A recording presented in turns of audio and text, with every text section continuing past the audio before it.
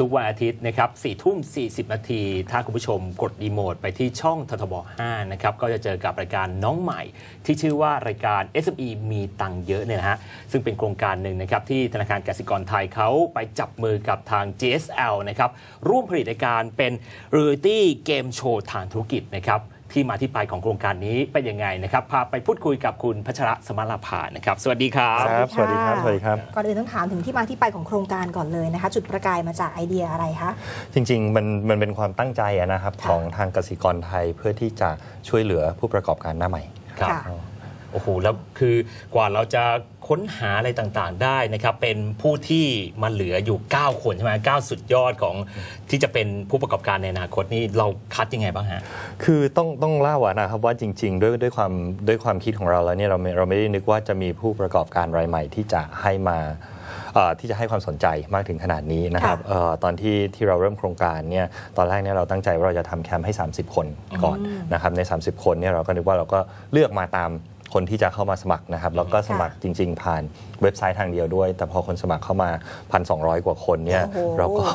เราก็เลือกกันเหนื่อยหน่อยเหมือนกันครับครับ ก็ก็เลือกกันจาก 1,200 คนบนคลิปที่เขาส่งเข้ามาให้เหลือ 30 คน เพื่อที่จะมาเอ่อเข้าคลาส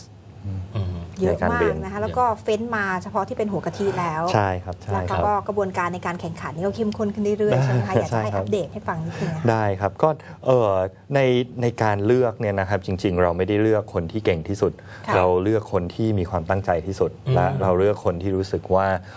เออเขามีความอยากที่จะ ประสบความสำเร็จจริงๆนะครับค่ะตอนนี้เนี่ยก็ก็ลงมาเหลือ 9 คนนะครับค่ะพอ 9 คนปุ๊บเนี่ยจริง ๆ ความตั้งใจของเราทั้ง 9 คนสิ่งที่เขาได้ไปเนี่ยทั้งความรู้แล้วโอกาสที่จะได้ออกโทรทัศน์เพื่อสร้างชื่อให้กับธุรกิจของเขาแล้วเนี่ยครับจริง ๆ แล้วมันเป็นสิ่งที่มีคุณค่ามากสำหรับผู้บริอ่าโทษครับผู้ประกอบการรายใหม่นะครับค่ะจริง ๆ แค่นี้เนี่ยก็ถือว่าคุ้มชนะแล้วและคุ้มแล้วใช่นะครับเพราะว่ากว่าจะมาออกทีวีได้นี่ต้องใช้เงินสร้างแบรนด์ ใช่ครับใช่เพราะว่าจริงๆเนี่ยต้องต้องใช้สตางค์เยอะมากเพื่อสร้างแบรนด์อย่างนี้เนี่ยโอกาสได้มาได้พูดถึงแบรนด์ตัวเองเนี่ยจครับริงๆเขาก็ได้เปรียบไปมากพอสมควร คือแต่ค่ะรายแล้วเนี่ยอาจจะยังไม่มีความรู้เรื่องของธุรกิจมากมาย ใน Reality ตัวนี้นี่คือเราสอนตั้งแต่การทำธุรกิจเริ่มต้นด้วยป่ะฮะ ใช่ครับจริง ๆ สอนเริ่มสอนมาตั้งแต่อยู่ในแคมป์นะครับอยู่ในแคมป์ก็จริง ๆ ก็สร้างสิ่งที่ควรจะทำวิธีการเอ่อที่จะต้องสร้างแบรนด์วิธีการที่จะต้องเออพูดคุยกับลูกค้าวิธีการที่จะต้องคุยกับแบงค์เรื่องอะไรต่างๆอย่างนี้ยนะครับก็สอนมาเรื่อยๆ จนกระทั่งเข้ามาถึงในแคมป์พอมาถึงในแคมป์หรือว่าเอ่อที่ที่ออกโทรทัศน์กันอยู่ค่ะเนี่ยนะครับเอ่อเป็นเป็นการถ่ายที่วันจันทร์ถึงวันศุกร์เนี่ยขายจริงนะครับพอขายจริงปุ๊บก็ถ่ายคลิปมาว่าเอ่อจริง ๆเขาเตรียมตัวก่อนที่จะมาขายยังไงพอเขาขายเขาเจอลูกค้า ยังไงบ้างค่ะขายวิธีไหนบ้าง เสร็จแล้วเนี่ยก็มีกรรมการ 3 คนหรือว่าเรียกว่ากูรูก็ได้นะครับครับกูรูค่ะมานั่งคอมเมนต์ว่า สิ่งที่เขาทำในช่วงอาทิตย์นี้เนี่ยเอ่อทางกูรูทั้ง 3 ท่านเนี่ยมีมีความคิดเห็นว่ายังไง ก็เสร็จแล้วก็อาทิตย์ต่อไปเขาก็ฟังโจทย์ แล้วก็เอาไปปรับอ๋อแล้วก็ขายต่ออค่ะแล้วตอนนี้ก็ on air ไปแล้ว 2 อาทิตย์ ตอนนี้ on air ได้สองอาทิตย์ครับฟีดแบ็กใช่ครับ feedback เป็นยังไงบ้างคะ feedback ก็เอ่อดีนะครับอาทิตย์แรกยังไม่ค่อยดีเท่าไหร่อาทิตย์ที่ 2 ดีขึ้นเยอะดีขึ้นมากเยอะนะครับวัดในเรื่องของเรตติ้งการดูในโซเชียลเน็ตเวิร์กต่างๆเอ่อจำนวนคนที่เอ่อเข้ามาเข้ามาพูดคุยกันถึงรายการนี้ในใน Facebook นะครับเอ่อครับ SME มีตังค์เยอะครับครับหลายคนที่ดูรายการไปแล้ว 2 สัปดาห์ที่ผ่านมา รู้สึกว่าอุ๊ยมันเป็นความแปลกใหม่ที่เกิดขึ้นในบ้านเราก็คือเป็น Reality Game Show ทางธุรกิจ จุดประกายหรือว่าไอเดียที่ธนาคารกสิกรไทยเนี่ยมองเห็นตั้งแต่แรกในการทำเกมโชว์ในรูปแบบนี้คืออะไรฮะคือเริ่มมาจากการการทำเอ่อสัมมนาก่อนนะครับค่ะจริงๆเนี่ยเราทำสัมมนาเยอะมาก และส่วนใหญ่แล้วเนี่ยสัมมนาเนี่ยเราเน้นในเรื่องของเนื้อเนื้อหาหรือว่าคอนเทนต์เนี่ยเยอะ แล้วเอ่อผมเองผมก็ไปฟัง พอผมฟังแล้วผมเห็นคนนั่งฟังผมก็เริ่มทราบแล้วว่าโอ้โห มันเยอะครับนะครับค่ะเพราะฉะนั้นเนี่ยความสามารถในการแอบสอบอะไรต่างๆเนี่ยมันก็จะได้ไม่ค่อยเต็มที่อืมนะครับ เราก็เลยลองบอกว่าเออเราเราเราลองเอามารวมกันไหมฝั่งการให้คอนเทนต์ผ่านเกมโชว์นะครับอืมก็เลยลองคิดออกมาดูว่าค่ะเออเราน่าลองดู แต่ต้องยอมรับว่าตอนนี้เองเนี่ยถ้าพูดถึงแบรนด์ KSME ของกสิกรไทยเนี่ยถือว่าเป็นแบรนด์ที่อยู่คู่กับผู้ประกอบการเลยนะคะแล้วก็นี่ก็เป็นอีกหนึ่งโปรเจกต์ด้วย หลังจากนี้ไปคาดว่าบรรดาผู้ประกอบการ SME ที่เข้าร่วมโครงการเนี่ยเขาจะได้อะไรกลับไปนอกจากการสร้างแบรนด์บ้างคะ ก็เออผู้ประกอบการถ้าจริง ๆ มันเป็นคำที่กว้างนะครับ ถ้าครับเผื่อเป็นผู้ประกอบการรายใหม่ที่เอ่อได้มาออกรายการเราเนี่ยก็อย่างที่เล่าให้ฟังเมื่อกี้นี้เนี่ยได้ค่ะได้กลับไปหลายอย่างพอสมควรเอ่อ ผผู้ประกอบการที่เป็นผู้ประกอบการรายใหม่ แล้วก็มาดูรายการนี้ก็ค่ะได้เกร็ดความรู้ไปมากพอสมควรนะครับผมว่าถ้าเผื่อลองฟังเรื่องอะไรที่จริง ๆ มันไม่ได้ดูมีสาระเท่าไหร่มันเป็นครับมันเป็นเรื่องที่ที่มีความรู้นะครับค่ะเอ่ออีกกลุ่มหนึ่งที่จริง ๆ แล้วผมว่าน่าที่จะได้มากนะครับ คือกลุ่มผู้ประกอบการที่เอ่อทำมาสักพักหนึ่งแล้ว ผมว่ารายการพวกนี้เนี่ยพอเขาเห็นคนที่เคยที่จะต้อง เจออุปสรรคเหมือนอย่างที่เมื่อก่อนนี้เขาเคยเจอ ผมครับว่าเขาสามารถ relate ได้แล้วจริง ๆ แล้วมันเป็นเรื่องของการที่เอ่อเขาก็จะได้เรื่องของ entertainment value ไปจากตรงนี้เนยมากพอสมควร ได้ความสนุกสนานได้ประสบการณ์ใช่ได้การเรียนรู้ไปด้วยนะฮะอ่าใช่อย่างที่เราเห็นผู้เข้าแข่งขันต่างๆ กว่าจะมาเหลือ 9 คนเนี่ย ก็มีเป็นพันกว่าคนนะฮะเพราะฉะนั้นก็จะมีอีกหลายรายที่ไม่สามารถที่จะได้เงินทุนอะไรต่างๆ หรือว่าได้โปรโมทแบรนด์ต่างๆนะครับอย่างที่ตั้งใจไว้ ในมุมของธนาคารกสิกรไทยเราช่วยเหลือ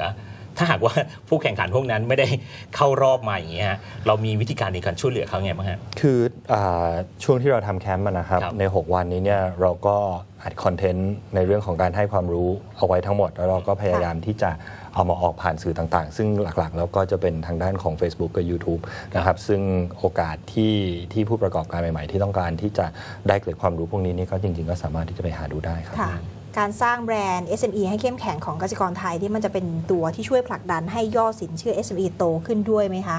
เออก็ในในเรื่องยอดจริง ๆ เราไม่ได้เป็นห่วงมากเท่าไหร่นะคครัรับบว่าโตมากตัวน้อยแต่จริง ๆ สิ่งที่อยากจะทำให้ดีกว่านี้คือเรื่องของการบริการนะครับเอ่อการบริการลูกค้าเก่าๆให้ดีขึ้น แล้วก็ลูกค้าเก่าก็ควรที่จะ ไปเชื้อเชิญลูกค้าใหม่ๆมานะครับการทำรายการพวกนี้เนี่ยจริง ๆ เริ่มต้นมานี่ไม่ได้กะจะเอามาโฆษณาอะไรจริง ๆ ตั้งใจค่ะทำเพื่อจะช่วยเอ่อผู้ประกอบการหน้าใหม่จริง ๆ นะครับครับถ้าเผื่อได้ได้ผลพลอยได้จากนั้นมาได้ครับก็ดีค่ะในไหนๆค่ะถามถึงเรื่องของตัวเลขสินเชื่อแล้วแอบถามนิดนึงฮะว่าตัวเลขสินเชื่อถ้าเทียบกับปีก่อนๆเนี่ย ในมุมของสินเชื่อให้กับธุรกิจ SME มันมันมันเพิ่มขึ้นไหมฮะคือสินเชื่อเนี่ยนะครับเอ่อทางเราตัวน้อยมา 2 ปีแล้วนะคครัรับบตัวน้อยไม่ว่าจะเมื่อเปรียบเทียบกับตลาด หรือเมื่อเปรียบเทียบกับเศรษฐกิจครับเอ่อเหตุที่ตัวน้อยเนี่ยเราเองเรารู้สึกว่าเศรษฐกิจเนี่ยมันเริ่มมาเป็นขาลงแล้วเพราะฉะนั้นเนี่ยเอ่อถ้าเผื่อ ลูกค้าของเรากอบโกยจากเศรษฐกิจขาขึ้นมาสักปี 2 ปี 3 ปีแล้วเนี่ยสองสามปีหลังเนี่ยก็ควรจะค่อยๆ ชะลอตัวลงมาบ้าง เพราะว่าจริงๆ เศรษฐกิจมันก็มี cycle ของมันนะครับค่ะเสร็จแล้วพอ cycle จะพลิก up ขึ้นมาใหม่เราค่อยเร่งการขายกันอีกทีค่ะหนึ่งเพราะฉะนั้นในช่วงนี้เองผู้ประกอบการต้องเสริมสร้างความแข็งแกร่งให้กับตัวเองใช่ครับครับใช่อะลดต้นทุนดูรายการนี้ดูรายการนี้ค่ะใช่ครับอ่าและอย่างรายการนี้หลังจากนี้ไปนี่สเต็ปขั้นตอนในการแข่งขันจะเข้มข้นขึ้นขนาดไหนคะก็เอ่อตอนนี้เนี่ยลีกแรกนะครับแบ่งเป็น3ลีกลีกแรก 3 คนเนี่ยค่ะตอนนี้ก็คัดเหลือ 2 คนนะครับสองคนนี่ก็ถือว่าคนหนึ่งเป็น